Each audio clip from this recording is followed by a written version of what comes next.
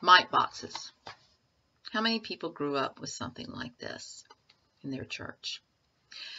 This was something that was given to you perhaps at the beginning of Lent, and you went home and you put money in it and you brought it back and you put your name and address, and it was mailed to probably your conference, your diocese, or your national church.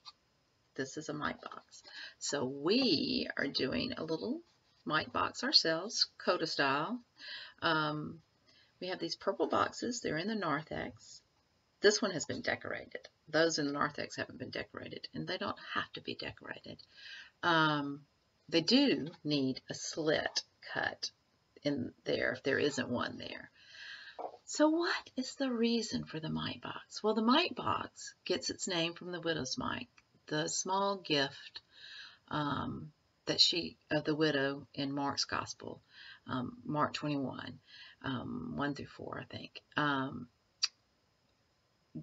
Jesus was in the temple and he saw the rich men or rich, rich people come in the temple and dump their money and it made a loud noise.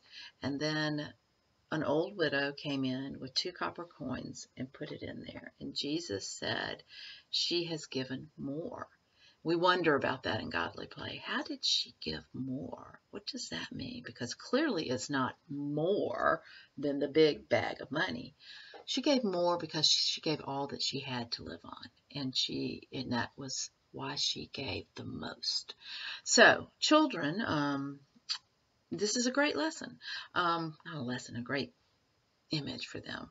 Um, Church of the Apostles, some of you might know we are going um, to take a mission trip to Panama City to do cleanup from Hurricane Michael. Little children can't go.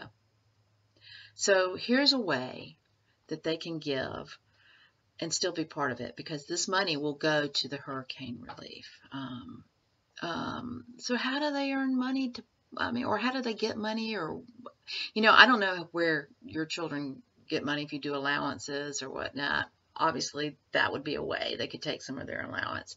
But maybe you could help by creating an opportunity like, hey, you know, I usually give you money for snack every afternoon. Maybe you don't have a snack or take an apple from home and the money that I would give you goes in here. Or maybe you're headed to the ballpark and you give them money to get chips or something and suggest or offer, you know, I have this dollar, but I could give that you could put that in your mite box and you could go without. Let them have an opportunity to figure out how to do it. Maybe it's something you give them an opportunity to do some chores or something. Um, or maybe you as a family do it. It's not just an individual's box. It's just the family's mite boxes. Get as many as you want. Have a game out of it. Um, we got lots of them. Um, do put them somewhere, like on the table in front of the placemats, so, so the children kind of can do that. Um, and there's there's this little handout that gives you all the information about it as well on the narthex. Now, at Easter, after all of Lent, you take your box with your money, you go pick a flower in your backyard, and there should be plenty of them, and you stuff it in the little slit right here, and you bring it to church, and you give the offering because the cross, our flower cross, will be up on the altar and the boxes will be put in there. Oh, how pretty is that? And we will flower the cross. It will look gorgeous. Um, so I really, we're going to need a lot of boxes. So I really hope people will do that. And also, I would like to point out these because these are um, our color drawings we did last year for the Stations of the Cross. Um, there's one, a different one every week putting out on the table where the, the mite boxes are. Go by and look at it. Read it. Glance at it. You might be one of the families that did one of these.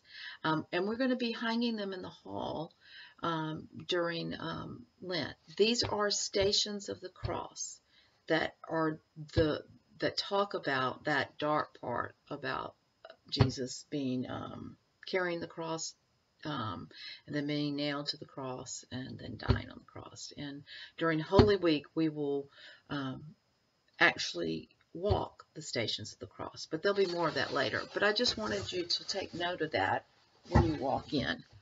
All right. Happy Lenten.